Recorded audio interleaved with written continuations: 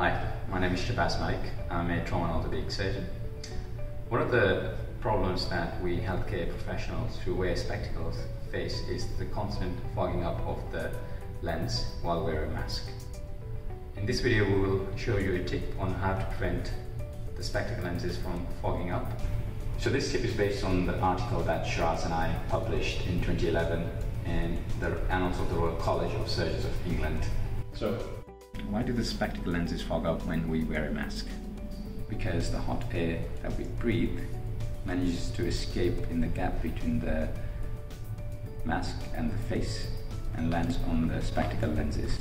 Now, as we know from the physics, that when hot air molecules land on a relatively cooler surface, in this case the spectacle lenses, due to the process of condensation, the mist particles form, which obstruct the view.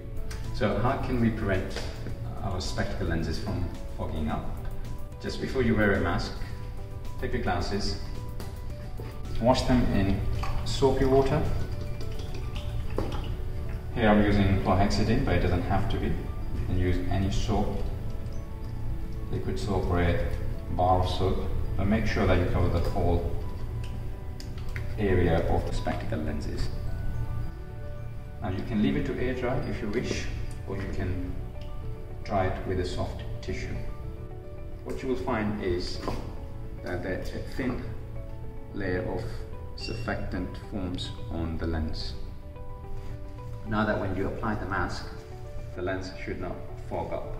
In some instances you may find the edge or the periphery does fog up and that's normal and that's probably because there's not enough soap around that area. If you wish, you could wash it again. We hope this short video will help you see through your glasses clearly. Thank you for watching. Please stay safe.